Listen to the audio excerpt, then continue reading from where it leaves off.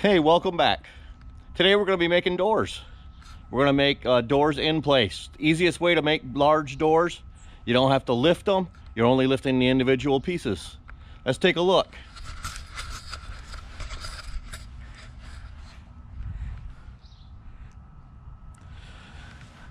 These doors here, total width, over eight feet. Height is eight feet. And they're made in place. We're gonna go ahead and do that today in this opening here. Okay, I'll show you what we've done already. We've got our hinges in place here. You can see them here. And you can see them here. I used through bolts hinges. These are for normally for gates, heavy gates. What I've done is drilled a hole all the way through my 4x4 and my cladding. And you can see it comes out on this side over here. That just sits on. Now look at the amount of play that's in these uh, hinges. The problem with building them off off the hinges or off site and then try to hang them is that you're going to have a problem more than likely with your reveal. And check this out. Building them in place makes them perfectly level at the top. The reveal is um, the same from top to bottom. And my bottom, of course, is the same. All right. So we're gonna go ahead and make these today. Again, it's the easiest way to make large doors. And the first thing we're gonna do is we're gonna measure from this spot right here, approximately a quarter inch in from the turn here, from the angle, all the way over to the other side to the same location, right there. And we're gonna cut a two by six and we're going to hang that 2x6 on these hinges so the weight of the 2x6 actually pushes the hinges down. Good, and you see the play in the hinges, all right? So that weight of that 2x6 is actually going to keep those hinges in a downward position. All right, and we're going to do the same thing on the top. And then we're going to attach them in one location. We're going to use the nearest hole to the hinge. And we're going to attach it with a carriage bolt. And we're going to kind of leave it loose. All right? So everything is loose here. The hinge obviously has its play. The 2 by 6 is going to be a little bit loose here on the hinge and we're going to do the same thing on the other side and then we're going to put our upright pieces in and at the end, we're gonna cut the whole door right down the center.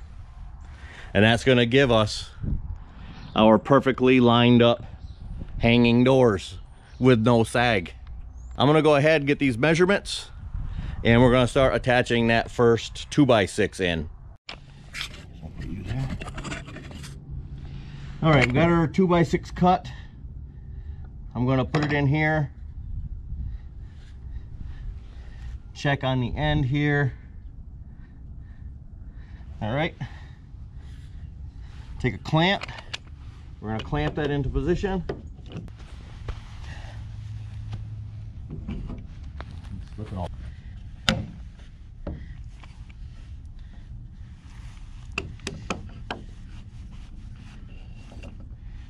Up, up.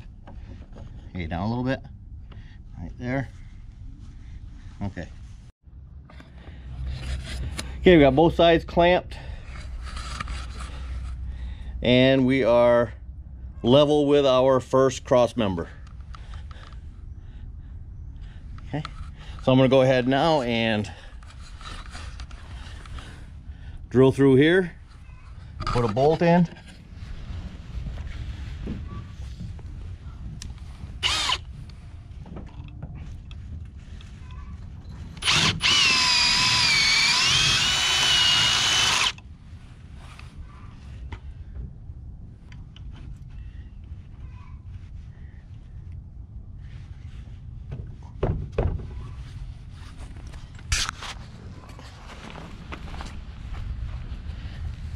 Hammer that in in a second.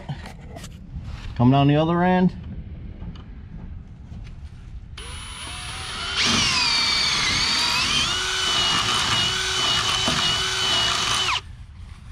Get that one in.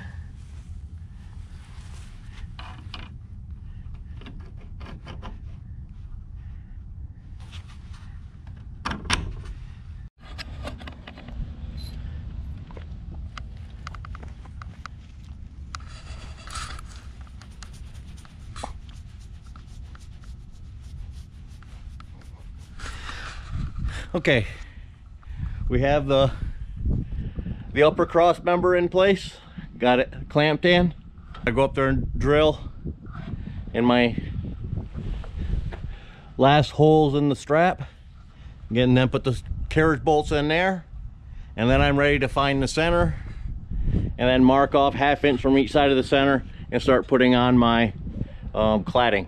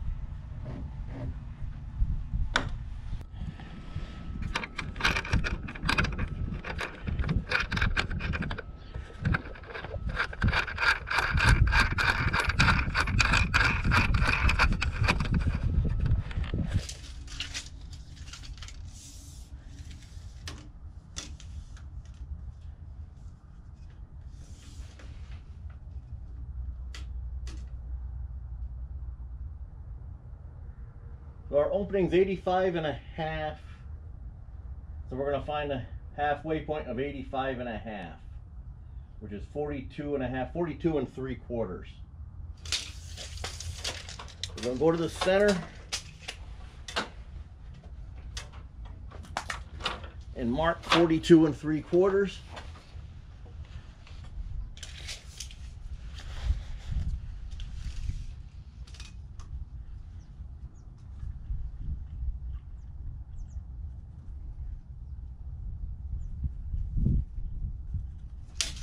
Then we'll mark back on each side of that half an inch.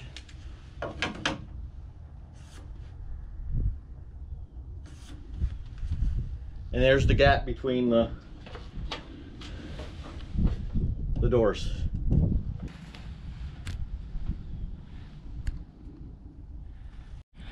Okay, we're gonna put our first board on plumb with that line. I'm to raise it up so it's three quarters of an inch below the header. And we'll attach it top and bottom.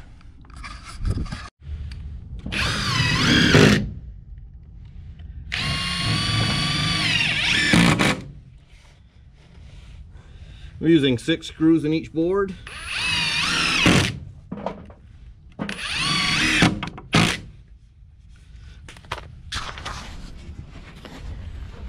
And that's the first board of the right hand door. So we're gonna work our way that way. And we're gonna work our way that way. And finish these doors up. Okay, this one we gotta pinch into place. Okay, go ahead, push, push. Keep going a little bit more. A little bit more.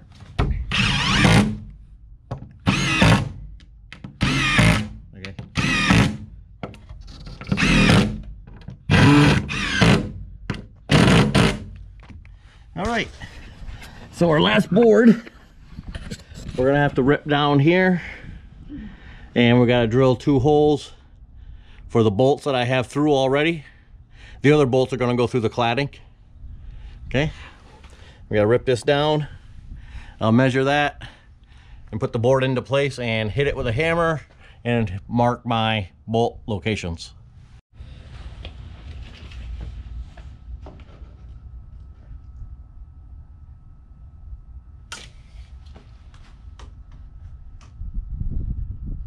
So I'm gonna go six and three eighths on the width of our board. So I'm gonna go six and three eighths. That'll give me a slight gap over here. And this is gonna be trimmed off on the inside to keep the snow and rain wind out. So it'll be trimmed off on the post, all right? So that'll come over the top of that gap.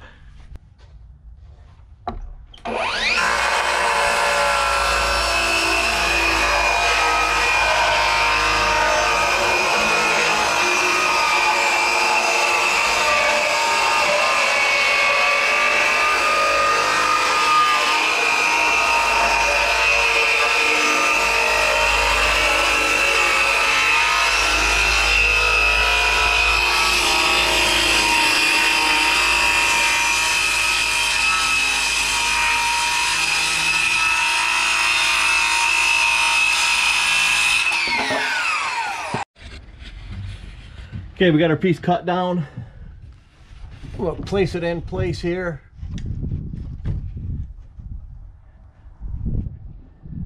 And go ahead and tap where the bolts are.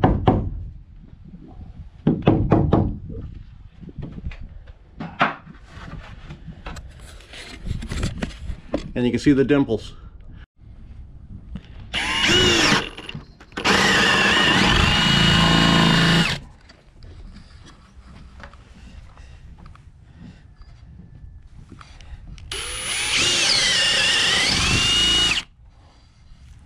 Hey, flip the board over so we don't have tear out.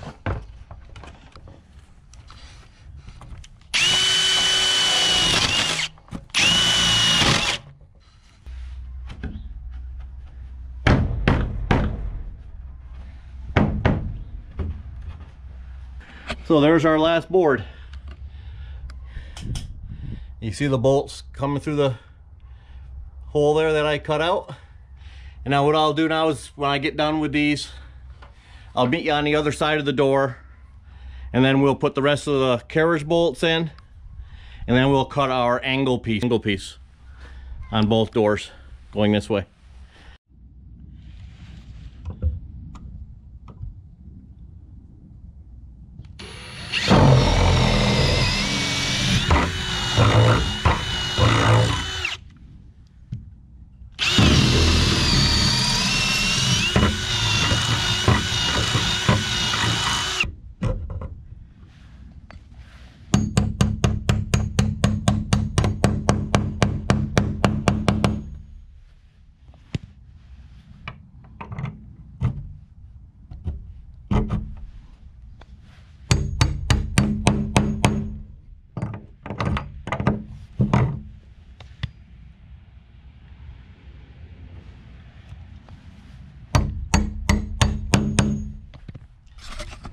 Go on the other side now, tighten them up. Now let's take a look.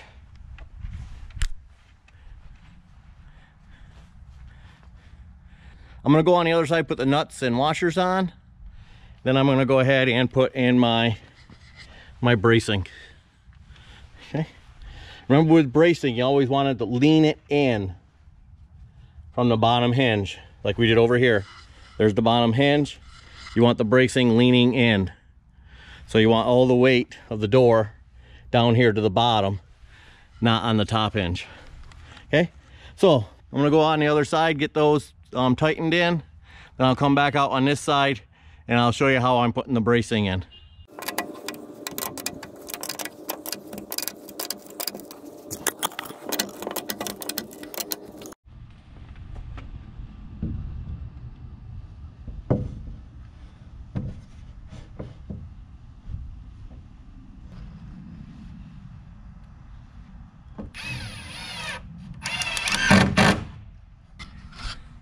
So you can see what I've done here. I've temporarily attached my bracing here.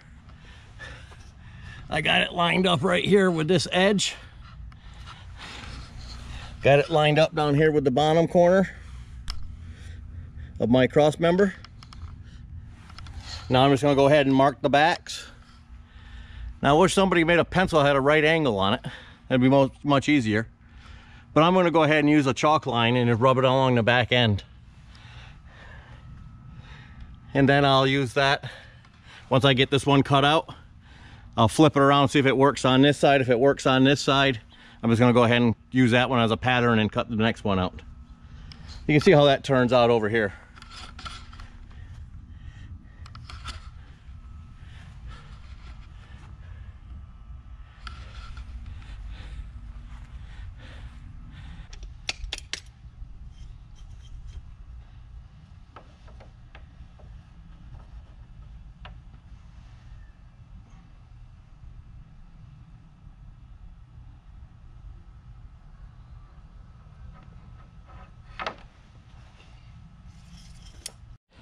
So you can see I have a pretty good impression here with the chalk.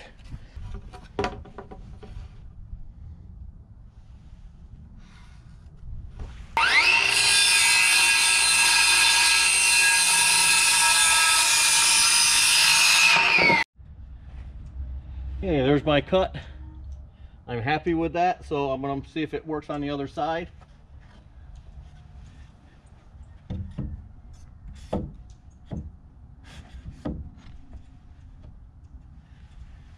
And she does.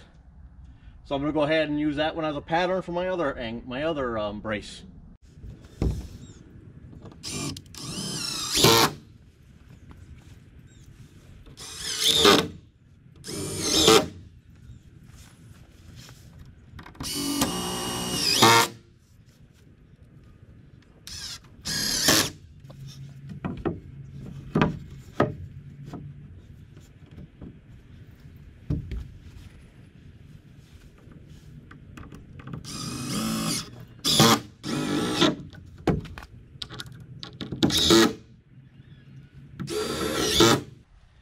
right.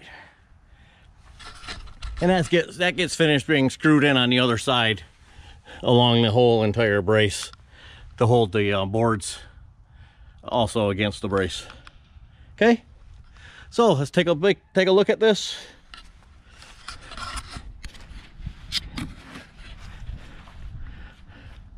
Looks pretty good. I still got a few more little cuts on my uh, door I just built. I got to cut my top angles you can see them here on the other one. Over here, gotta cut those. And I gotta cut my bottom off. So that's even with this other door. We're gonna get uh, four or five inches of uh, crushed stone put in here as a floor in these two sections. So that's why I'm leaving this up off the ground so far. Okay. All right, so I'm gonna go up there and show you how I am working on the tops Okay, up here where I'm gonna have to cut this door here, I was gonna lay a board on there and I'm going to mark a line along that board.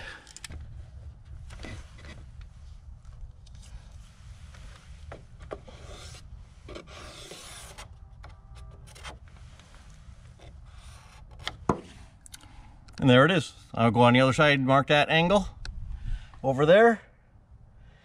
And I'm gonna come back and I'm gonna be ready to uh, cut this door in half. Okay, I'm up here at the top cross member. I'm gonna put my square on there. Anyways, put my square on there.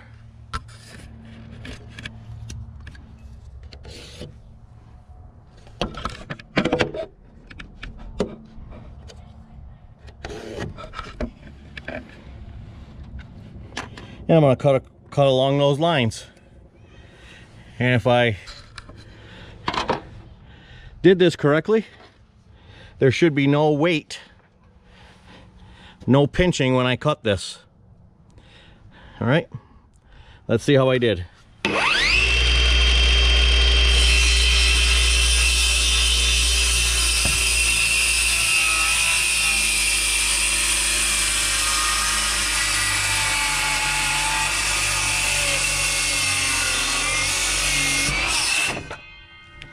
and cut through and did not pinch. See it? I'm just gonna go ahead and cut this one off.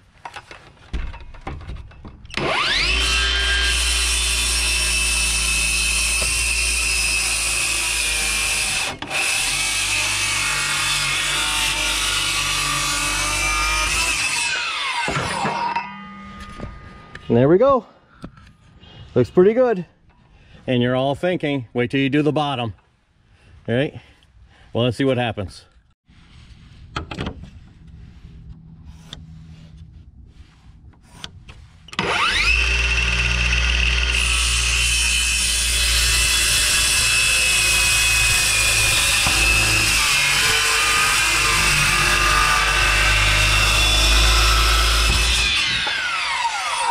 No pinch. And you look at the gap. It's just my kerf of the blade. So these are swinging clear. So I just gotta go ahead and cut this one now.